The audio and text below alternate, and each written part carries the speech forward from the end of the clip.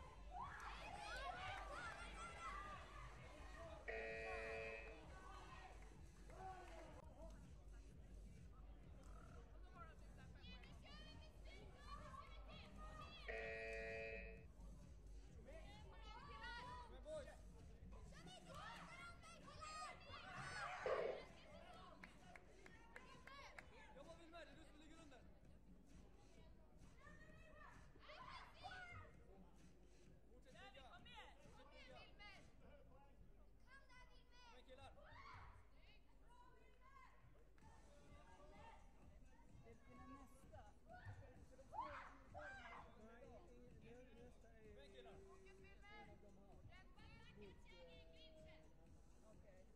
blev en liten paus däremellan.